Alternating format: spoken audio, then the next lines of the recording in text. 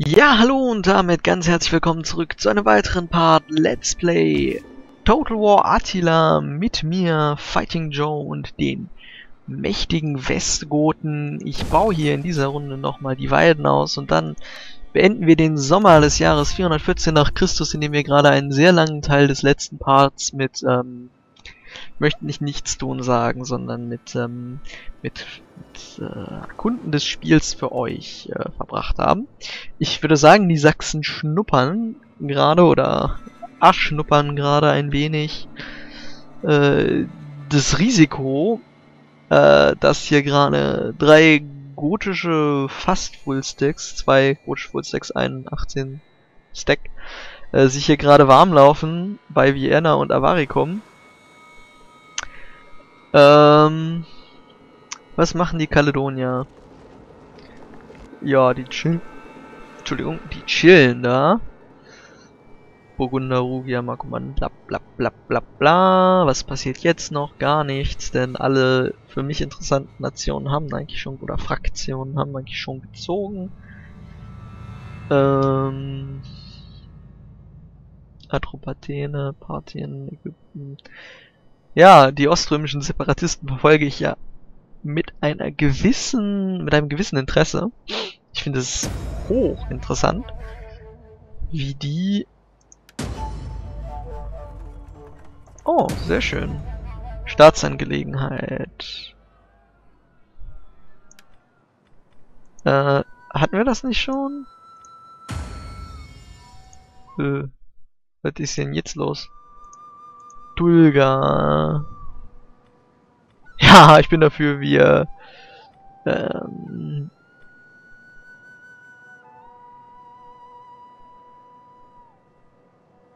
Ja, ich meine, ist ja nur betrunken im Dienst. Auf der anderen Seite, also... Keine Ahnung. Peitsch ihn aus. Und ich bin dafür, dass Theoderich mal ein Kind kriegt. Und Wamba mal älter wird. Ähm... Ich weiß, das geht nicht schneller, nur weil ich mir das wünsche, aber äh, es hilft. Du baust mir hier nochmal zwei von der Sorte.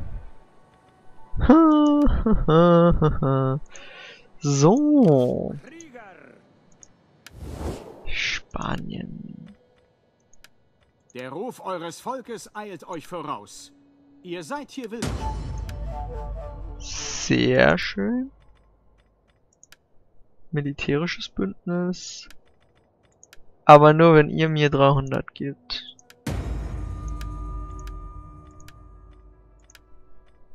Und ich trete eurem Krieg bei gegen die Sachsen. Und zahle euch... Da? Okay, das ist nicht... Ja, dann würde ich sagen... Nö. Ähm, 600 ist hoch.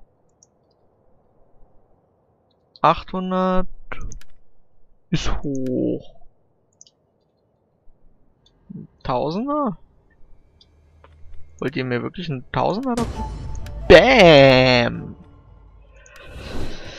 Die geben mir den Tausender dafür, dass ich die Sachsen angreife. Oh, die haben aber schon verdammt gute Garnison. Wir eine ausgewogene Stellung.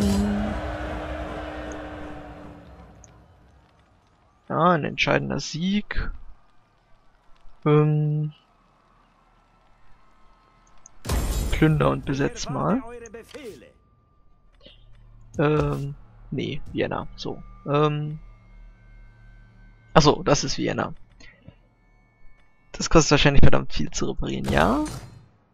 Was haben wir hier? Eine Feste des Stammes des Kriegers. Oh, das kostet zwar viel, aber die müssen wir reparieren. Knochenwerker, bla und Haus des Stammesführers? Nee. Das brauchen wir nicht. Wir brauchen Tröge. Wir brauchen Tröge. Und alles, was er hier anscheinend hat, sind, ähm...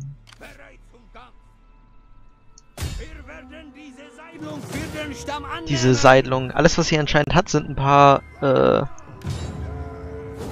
Agenten und wir zeigen uns jetzt hier mal ganz, ganz groß. Meine Avaricum ist eh... Oh, die haben die Ortschaften immer schon so richtig gut ausgebaut. Halle des Stammesführers hm, gefällt mir. Germanischer Hinkelstein gefällt mir nicht. Reparaturkosten. Ja, das war doch gut. Also, war, finde ich, ein erster Zug in dieser in diesem Konflikt, den man mal so machen kann. Ne? Jetzt gehört uns vor allem die Narbonensis ganz und wenn wir mal in die Siegbedingungen schauen, also in die generellen, na, wir kommen langsam ran. Wir brauchen noch 10. Das geht allerdings. Das hier, daran müssen wir noch ein bisschen arbeiten. Das haben wir aber auch gleich. Also den kleinen Sieg kriegen wir schon. Beim militärischen Sieg, äh, ist mit den 60 Provinzen. Und das wird halt schwer. Ähm...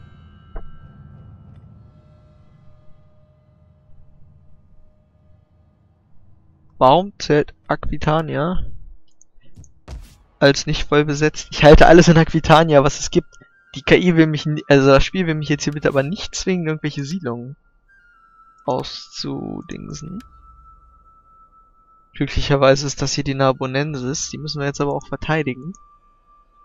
Äh, gegen etwaige Gegenstöße. Okay. Das ist gut, dass du hier stehst. Äh, stacken sich eigentlich die Effekte von den Priesterinnen? Ich bin ein Diener des allmächtigen Herrn. Ich bin eine Blume des allmächtigen Herrn. Ähm, sage ich jetzt mal nichts zu. Äh, das ist ein Brunnen, ne? Dann bauen wir mal Tröge. Tröge, Tröge. Dann bauen wir drüber. Machen 3000 jetzt die Runde. Wir haben natürlich auch eine Goldsiedlung eingenommen und wenn wir die gleich auch noch repariert haben, wird die noch viel mehr abwerfen. Oh, Vienna ist, also gut, Narbonensis ist inzwischen sehr schön christlich. Und Theodorich hat noch ein Upgrade gekriegt. Super. Rabe und Richter sind ganz wichtig. Dann wird der doppelte Hirsch fällig. Äh, ja, alles gut soweit. Ich würde sagen, da haben wir doch mal gleich einen schönen ersten Schlag gelandet. Es tut mir echt übrigens nochmal generell leid, dass ich wenig Schlachten zeige, aber A, es kommt ja nicht zu so vielen Schlachten. Ähm, Schlachten, so Angriffsschlachten selber zu schlagen, ist meiner Meinung nach äh, ein unnötiges Risiko. Da verliert man immer mehr, als wenn man das automatisch macht. Und ja, bist du mal fertig, Alter. Und ansonsten, ja, die Vandalen, die wollte ich ja immer wieder zu einer Schlacht stellen, aber die haben sich ja sehr gekonnt geweigert und jetzt kommen hier aber hunderte Agenten. Das erinnert doch an das gute alte Rome 2. Äh, muss ich gleich mal meinen eigenen Agenten ranziehen. Sonst noch was?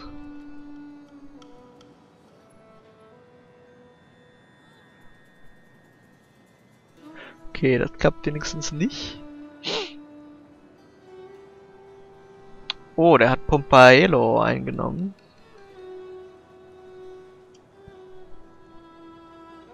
Alaric, hast du nicht mal Lust nach Süden zu marschieren? Ja, ja, das ist das Problem. Wir, wir, wir führen quasi automatisch den Zwei-Fronten-Krieg gegen die Jungs, weil sie halt eben zu beiden Seiten von uns stehen darum möchte ich eben halt auch im Norden äh, Ruhe schaffen. Darum wirst du dich auch aus Vienna in ein, zwei Runden wieder verziehen. Oh, was machen denn die Quaden da? Die, die laufen auch die ganze Zeit rum und machen nur Scherereien. Himja. Lachen. Ja, dass die Runden ziemlich lange dauern, das habe ich auch schon gemerkt, aber hm, ich könnte sie natürlich rausschneiden. Das wäre wäre jetzt die logische Konsequenz, aber das wäre ja halt auch eine, die, die sinnvolle Sache. Makedonien, So, Tanjen, Dakin. Wir haben verdammt viele Feinde in der Welt, das möchte ich auch nochmal sagen. Und, oh, Spanier, du Arme. Du hast voll einen auf den Deckel gekriegt von den Sachsen. Unstimmigkeiten fordern. Bla. Betrunken im Dienst. Ja, das ist doch gut. So möchte man das haben. Du scoutest mir trotzdem noch mal eine Runde lang. Oben rum. Und die öffentliche Ordnung in Avaricum muss jetzt halt etwas leiden. Ähm, machen wir eine ausgewogene Kampfstellung. Keine Einheit ganz verloren, super. Wir rauben die Siedlung aus. Und reißen sie nieder. Okay, das ist abgefahren, wie riesig das Gebiet ist.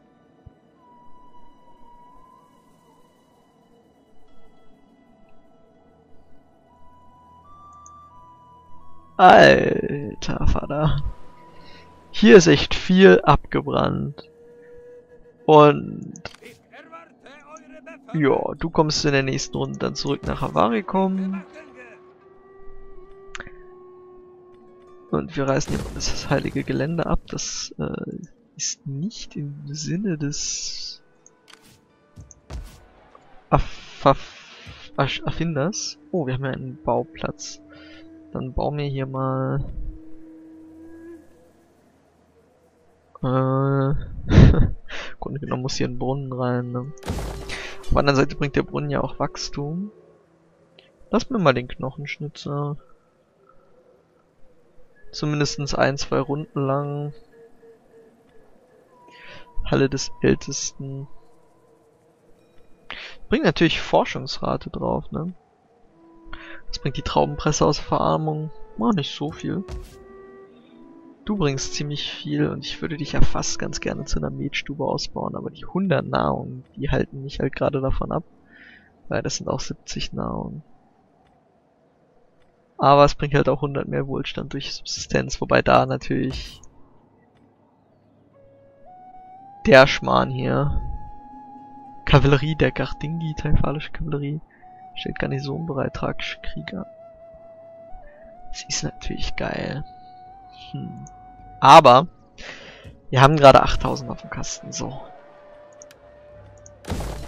Rom wird umgebaut. Alles, alles in Rom soll daran, soll nicht mehr daran erinnern, dass das mal eine römische Stadt war. Auch wenn ich die römische Kultur natürlich als Westgote traditionell gut finden muss. Irgendwann hört die Liebe auch auf, ne? Wie kann ich euch helfen? Ja, die Kriegshungrigen erholen sich ein bisschen. Atolf ist ja auch ein guter Mann. ist nämlich Atolf in der Meteodrich steht hier oben. Ja, da haben wir gerade in 10 Minuten gefühlt so viel geschafft, dass ich den Part die ganze Zeit beenden will, weil ich mir denke, hey, ja, da ist bestimmt schon total viel Zeit vergangen. Nein, ist gar nicht. Ähm, aber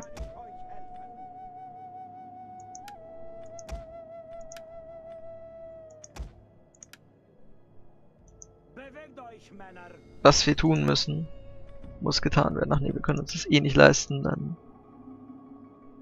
marschieren wir erstmal nach hier. Ähm, ich marschiere sehr gerne, äh, sehr ungerne ins Ungewisse. Ja, da steht doch eine Armee, aber die ist stark angeschlagen. Die hier sind nicht so angeschlagen, aber... Oder sind das ist irgendeine vandalische Armee, die sich da verkämmt hat?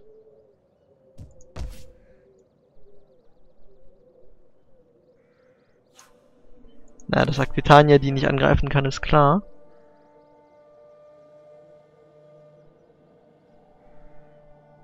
Da komme ich wahrscheinlich diese Runde genau nicht dran oder so. Nee, er fällt zurück.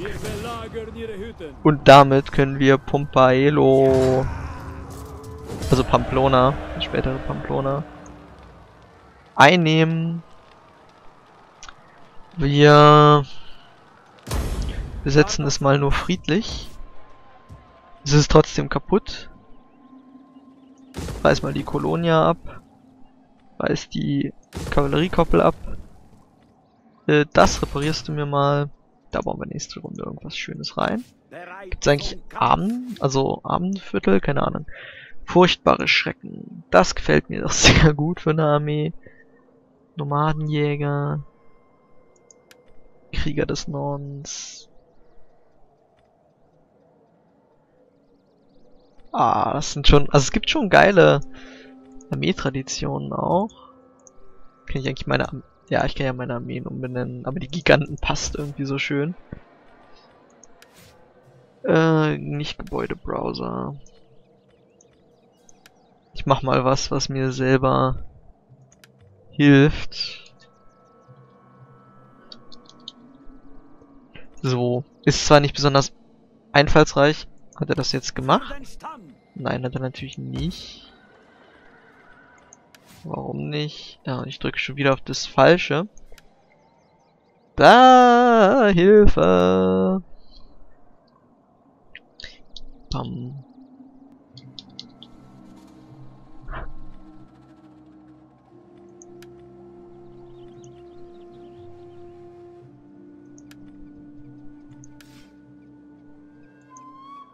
Okay. Das zeigt den. Ah, jetzt zeigt es auch hier an. Sehr schön. Ah, ja, das sieht doch alles gut aus. Hier Franken, ein paar Franken rum. Oh, die haben ganz schön, ganz schön viel Infanterie. Aber nichts dahinter. Und, äh, ja, der Winter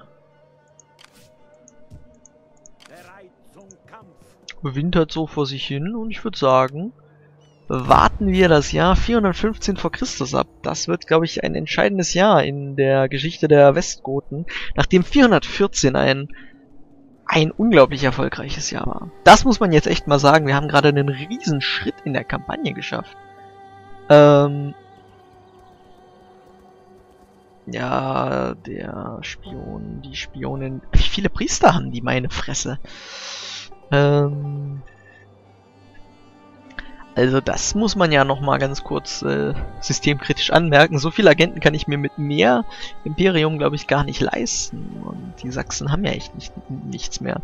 Die haben jetzt noch Tuliforum und äh, Tarako. Ich mich bei Tarako gerade immer frage, welche spanische heutige Stadt das ist.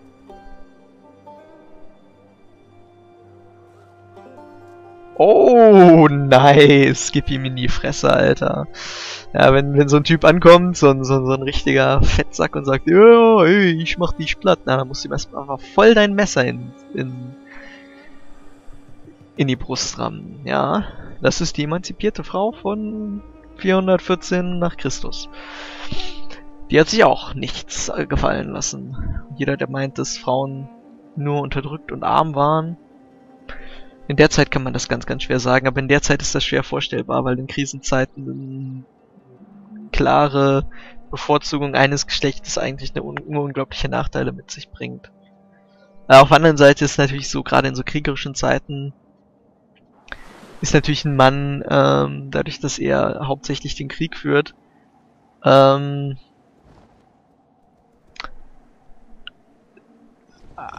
wichtig. Aber es ist, sind beide Seiten wichtig, weil halt eben gleichzeitig die Männer die ganze Zeit weg sind. Muss ja auch irgendwer äh, die restlichen Sachen regeln. Und ich muss gerade mal sagen, irgendwie ist dieser Klimawandel jetzt extrem bemerkbar. Wenn man sich mal Großbritannien anschaut, das ist im Winter komplett weiß. Ähm, abgefahren. Und das ist, glaube ich, echt wichtig, dass wir anfangen, uns ähm, in wärmere Gefilde zu verziehen. Die Fruchtbarkeit da ist zwar nicht so hoch, aber die müsste nicht so stark sinken durch den Klimawandel, oder? Oder sinkt die gen generell durch den Klimawandel? Wobei Spanien im Winter ist natürlich auch ziemlich kalt, weil es so bergig ist. Ähm... Okay. Ja, bla.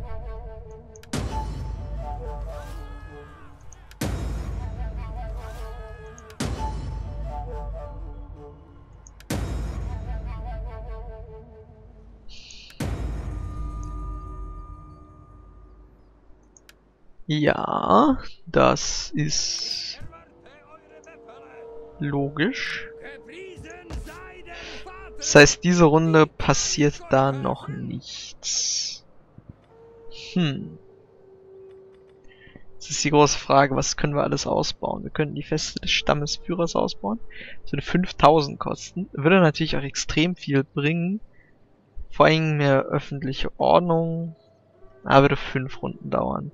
Erstmal müsste ich hier irgendwas hinpflastern. Da möchte ich... Oh, Alter, das ist das geile Gebäude. Das ist die Goldmine quasi. Ah, fuck. Dann bauen wir hier mal... Eine lateinische Kirche. Ja, und Paplona. Reiß doch mal das blöde Versammlungsfeld ab. Äh, ja.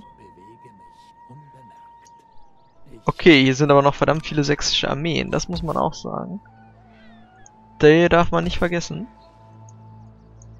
Toletum, Historiker. Oh, verdammt. Aber hier unten sind ja einfach mal unglaublich viele äh, äh, Gebiete. Also geil.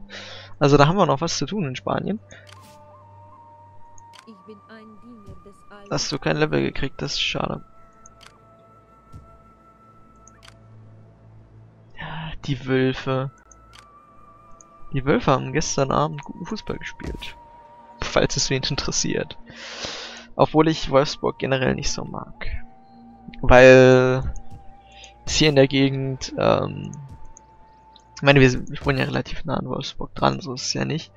Aber es gibt dann in letzter Zeit wieder, es ist ähnlich wie in der Saison, als die Meister geworden sind, wieder so viele Erfolgsfans. Und das finde ich immer, das finde ich immer nicht so schön. Egal in welchem Kontext. Äh, Narbo. Strotzt vor Gesundheit. Wulfila? Wann wird Wamba erwachsen? Wamba sieht schon so ein bisschen dingsig aus. Und ich muss sagen, Atolf ist echt äh, ein fruchtbarer Bursche. Da ist er echt besser als der. Und ey, kriegt man ein Kind? Krieg ich das irgendwie so als Aktion? Äh, ein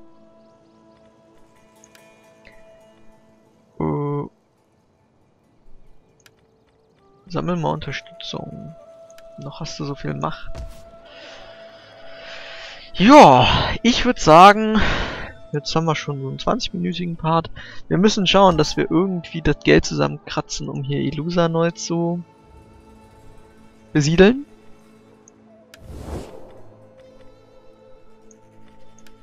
Hispania. Seid willkommen. Das ist bestimmt ein Eure Worte werden. werden auf ein aufmerksames Publikum treffen. Äh.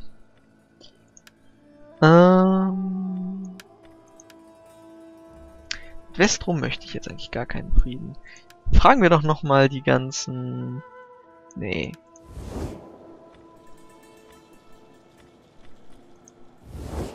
Fragen wir doch nochmal zum Beispiel Sagt uns Britannien nach einem Frieden. Bedingungen. Die Ebdani nach einem Frieden. Trag eure Anliegen gut und Die Kaledonia. Trag eure Anliegen gut und Okay, die haben einfach alle keinen Bock auf Frieden. Wir haben inzwischen eine ganze Ecke Feinde. Äh, Britannien hatten wir ja gerade. Septimanen. Kommt und sprecht. Das Volk wird sich das, was ich höre, durch den Kopf gehen lassen. Doch Ah, aber wie lange geistern die da jetzt rum? Und verrecken nicht, obwohl sie eigentlich Verschleiß kriegen. Wahrscheinlich ist jetzt endlich mit prozentualem Verschleiß so geregelt, dass die Einheiten halt nicht so schnell verschwinden. Aber jetzt würde ich mir das irgendwie gerne wünschen.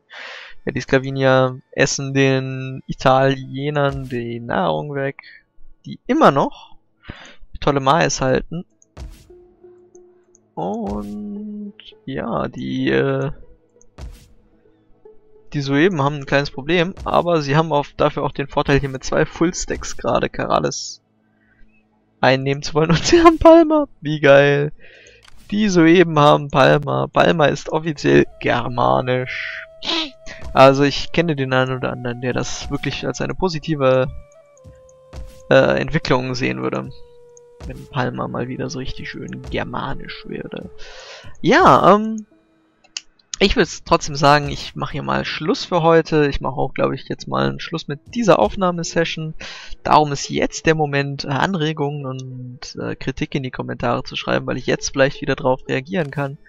Hier wüten so ein bisschen die... Hier wüten die Jüten quasi und du äh, läufst mal nach Tullifordum und scoutest da. Ich hatte nämlich das Gefühl, Tullifordum macht nicht mehr so viel. Was natürlich jetzt geil wäre, wäre, wenn die sich verhorden.